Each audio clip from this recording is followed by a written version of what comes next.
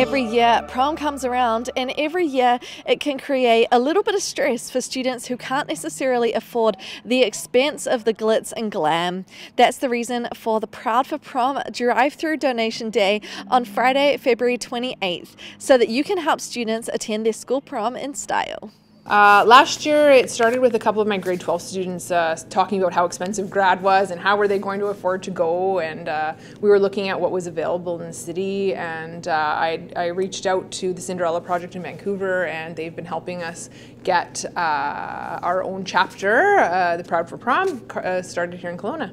She says the boutique day at Capri on April 5th is another exciting part of the experience for the students involved they go shopping. So we set the ballroom up at the Capri like a store, and they're paired uh, upon arrival. They're paired with um, a personal shopper, one of somebody from our committee, and they move through the different stations. So they would first choose their gown or their suit, and then they would move through to the shoe area and select shoes, and then they would move on through jewelry and accessories, purses, and anything else that they may want for their outfit. From there, they would then move on to our makeup station where we have uh, a lot of companies donating uh, their services.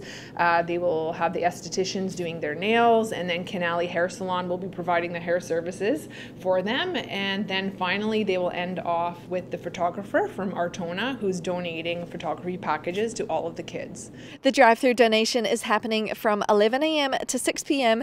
at George Elliot, Rutland, Kelowna, and Mount Boucherie High Schools. For Castanet News in Kelowna, I'm Laura Brooks.